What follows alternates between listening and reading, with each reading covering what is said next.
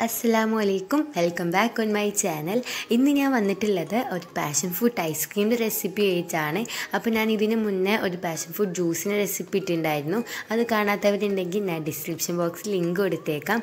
അപ്പോൾ നമുക്ക് ഈ റെസിപ്പിയിലേക്ക് കടന്നാലോ? അതിന് വേണ്ടിയിട്ട് ഞാനിവിടെ മൂന്ന് ടേബിൾ സ്പൂൺ കോൺഫ്ലോർ എടുത്തിട്ടുണ്ട്. രണ്ട് ഗ്ലാസ് പാൽ പിന്നെ നാല് പാഷൻ ഫ്രൂട്ടിന്റെ പൾപ്പ്. നമുക്ക് ആദ്യം കോൺഫ്ലോറിൽ കുറച്ച് പാൽ ഒഴിച്ചൊന്ന് മിക്സ് ചെയ്യണം. അപ്പോൾ ഞാനിവിടെ ഒരു അഞ്ച് ആറ് ടേബിൾ സ്പൂൺ പാലൊഴിച്ച് നമ്മുടെ കോൺഫ്ലോർ ഒട്ടും തന്നെ കട്ടയില്ലാണ്ട് ഒന്ന് മിക്സ് ചെയ്തെടുക്കുകയാണ് കോൺഫ്ലോർ കയ്യിലില്ലെങ്കിൽ നിങ്ങൾ മൈദയോ അരിപ്പൊടിയോ നിങ്ങൾക്ക് യൂസ് ചെയ്യാം. അപ്പോൾ ഞാൻ ഒട്ടും കട്ടയില്ലാണ്ട് ഒന്ന് കലക്കി എടുത്തിട്ടുണ്ട്. ഇനി നമുക്കൊരു മിക്സിയുടെ ജാറിലേക്ക് നമ്മുടെ പാഷൻ ഫ്രൂട്ട് പൾപ്പ് ഇട്ട് കൊടുക്കാം. എന്നിട്ട് ഇത് നന്നായി ഒന്ന് അടിച്ചെടുക്കാം. ഇപ്പം ഞാനിത് അടിച്ചെടുത്തിട്ടുണ്ട്. ഇനി ഇത് നമുക്ക് അരിപ്പ വെച്ച് ഒന്ന് അരിച്ചെടുക്കണം. അങ്ങനെ ഇനി നമുക്കൊരു പാന് വെച്ച് കൊടുക്കാം. എന്നിട്ട് ഫ്ലെയിം ഓൺ ആക്കി നമ്മുടെ പാലൊന്ന് തിളപ്പിച്ചെടുക്കാം. പാൽ ജസ്റ്റ് ഒന്ന് ചൂടായി വരുന്ന ആ ടൈമിൽ ഞാൻ രണ്ട് ഏലക്കായി ചേർക്കുന്നുണ്ട്. ഏലക്കായുടെ ഫ്ലേവർ ഇഷ്ടമല്ലാത്തവർ അത് ചേർക്കണമെന്നില്ല. എന്നിട്ട് നന്നായി ഒന്ന് മിക്സ് ചെയ്ത് കൊടുക്കാം. അങ്ങനെ നമ്മുടെ പാലൊക്കെ അങ്ങ് നന്നായി തിളച്ച് വരുന്ന ആ ഒരു ടൈമിൽ നമുക്ക് കോൺഫ്ലോറിന്റെ ആ മിക്സ് ചേർത്ത് കൊടുക്കാം.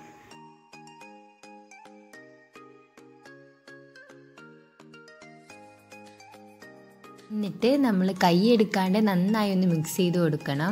നമ്മുടെ കോൺഫ്ലോറൊക്കെ നന്നായി അങ്ങ് വെന്ത് കിട്ടുന്നത് വരെ.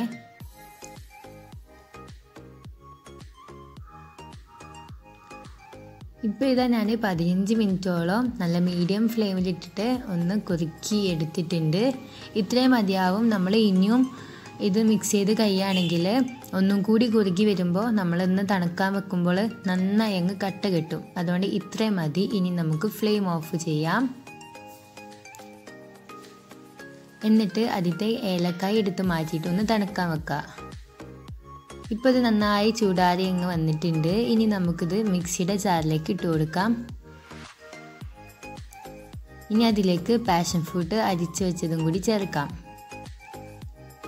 എന്നിട്ട് അര കപ്പ് പഞ്ചസാര ഇട്ട് കൊടുക്കാം. എന്നിട്ടൊന്ന് നന്നായി അടിച്ചെടുക്കണം. ഇപ്പോൾ ഇത് ഞാൻ നന്നായി അടിച്ചെടുത്തിട്ടുണ്ട്. ഇനി നമുക്കിതൊരു എയർ ടൈറ്റഡ് ആയിട്ടുള്ള പാത്രത്തിലേക്ക് ഇട്ട് കൊടുക്കാം.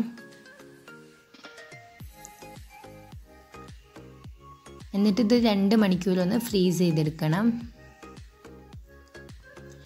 ഇപ്പം ഞാനിത് രണ്ട് മണിക്കൂർ ഫ്രീസ് ചെയ്തെടുത്തിട്ടുണ്ട്. നമ്മുടെ ഐസ്ക്രീം ഏകദേശം നന്നായി ഒന്ന് തണുത്ത് വന്നിട്ടുണ്ട്. ഇത്രയും മതി. ഇനി നമുക്കിതൊന്നും കൂടി മിക്സിയുടെ ജാറിലിട്ട് അടിച്ചെടുക്കണം.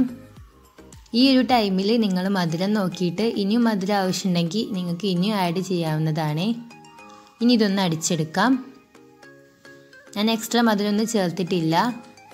ഇനി നമുക്കിത് ആ പാത്രത്തിലേക്ക് തന്നെ ഒന്ന് ഒഴിച്ചു കൊടുക്കണം.